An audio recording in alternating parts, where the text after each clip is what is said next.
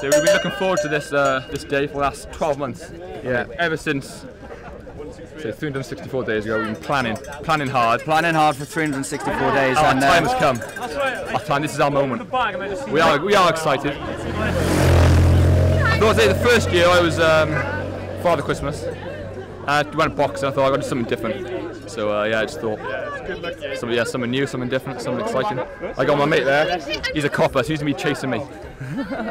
you won't catch me though.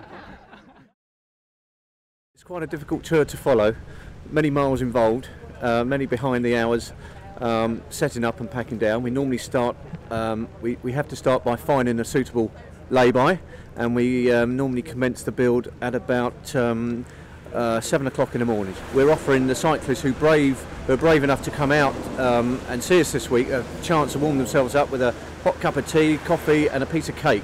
Well, we're here to run the What Bike Challenge with uh, Skoda, and uh, we're on the Skoda activation area on the King of the Mountains in, on Caerphilly Mountain today, and it's a bit damp, isn't it? It's it's a touch damp, but it hasn't dampened our spirits, Alistair, has it? No, it hasn't. That's very good. I like that. uh, we're encouraging people to do a 750 metre challenge, uh, which is uh, all about maintaining a, a, good level of power over that distance. Because that's three times around an indoor velodrome, so it's not a sprint, obviously. I'm glad you qualified that. Yeah. So yes, and it's nice to see all the good people of the Caerphilly area coming out and travelling in from quite a distance away. Got people coming in from Bath, um, further, further north and down Somerset area to see the mountain stage. Who we supporting? Bradley Wigan. Wiggle. Quintana.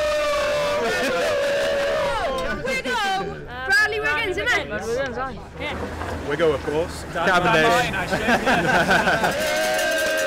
Wiggle. Wiggle and Cav, probably. I've done Tour of Britain um, quite a few years now for various teams and stuff, and this is the first time I sh actually shot this section. Just wanted to see the crowds and see all the characters. It's fantastic the amount of support that um, we get for all the riders because you know they've been pouring their hearts out, and it's great to get all the cheers as they come up the hill and everything. You'll get all the police bikes uh, come through close the road down, then you get the NEG riders, which make sure it's, um, totally closed. Then you'll get the lead car with Carl, who's the guy that goes around announcing you, telling you what's happening in the race. Then you'll get uh, a few more bikes, and then you'll start getting the lead procession, and then about sort of like 10 minutes after Carl, then you'll start seeing the race coming through, and then it'll suddenly be, after all that um, anticipation, it'll be gone in a flash, but it'll be fantastic. Yeah, just rocked up 20 minutes ago, and everyone's uh, getting behind it now. It's uh, guys with outfits and things. It's yeah, it's got Tour de France fever, definitely.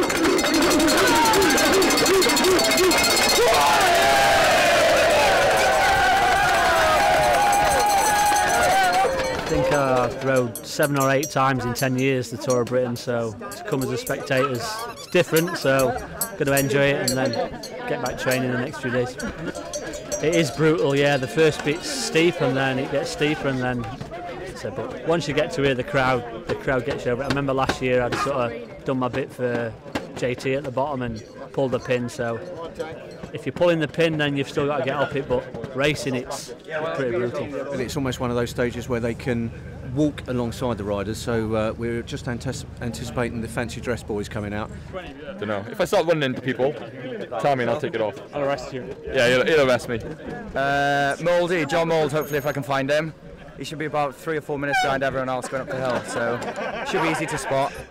Everyone's dressed up and yeah, everyone's you know got the Welsh flag out. It's big spirit. The and sun's out The sun's now, come so- out. Yeah, it was raining before, so it's nice. Everyone's uh, getting behind the cyclists. I never realised how hard this climb was, but Yeah, it looks so hard. Yeah. Just the fact that it's Yeah. all strung out. Yeah, you can It see. must be painful. Yeah, I think if the atmosphere's like this, then the riders, you know, when it's wall-to-wall noise, it sort of takes the pain away. So.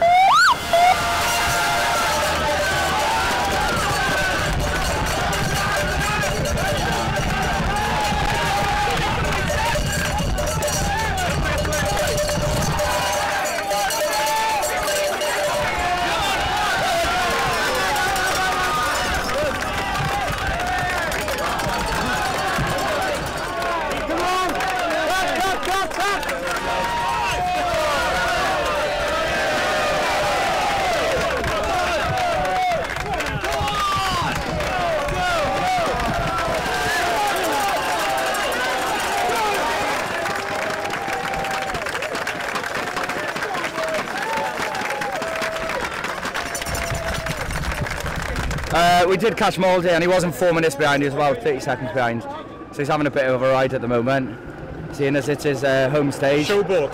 Showboat, isn't he? He's only, uh, he only lives about 10 miles away. Good. Absolutely fantastic. yeah. yeah, very fast. And the best thing was that we were so close to him. And we had the best bit of cheering because we were at the front. I just couldn't run. Right, the second time they came up, everybody pushed forward, so I couldn't see a thing. Everything about it. Fans, closeness, yeah, atmosphere, like just the noise of it and just epic. to come and spectate today has been great and the atmosphere was unbelievable. The noise and I think I might have dislocated my shoulder getting too excited there again but, but no it's a great day and I think uh, yeah obviously there's been a great winner there today so